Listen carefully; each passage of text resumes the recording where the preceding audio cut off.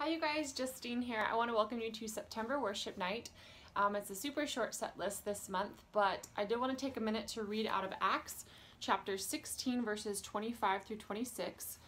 Um, it's Paul and Silas in prison. It says, About midnight, Paul and Silas were praying and singing hymns to God, and the other prisoners were listening to them. Suddenly there was such a violent earthquake that the foundations of the prison were shaken. At once, all the prison doors flew open and everyone's chains came loose.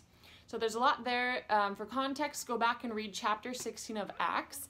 But I wanted to refer you guys to um, a really cool testimony of just an offensive movement that's happening from Sean Feucht, who is a worship leader out, out of Redding, California, and he's also actually running for Congress, but he's gone to all of the sites of riots and um, he his kind of tagline is riots to revival so he's going to major cities and then ending in back in uh, Sacramento and uh, just holding worship services. So it's a really cool, tangible way um, that we as the church can uh, just be excited about worship shifting atmospheres. So it's a cool example that he set and I'll link it, or Sharon will link it um, at the end of this if you're interested in it. But it's just Sean Feucht, Let Us Worship. So I just wanted to encourage you with that. There's a lot of discouraging things uh, right now, but I feel like that doesn't that type of stuff doesn't get the attention that it deserves. So I shared it internally with our worship team, and um, hopefully it's an encouragement to you too.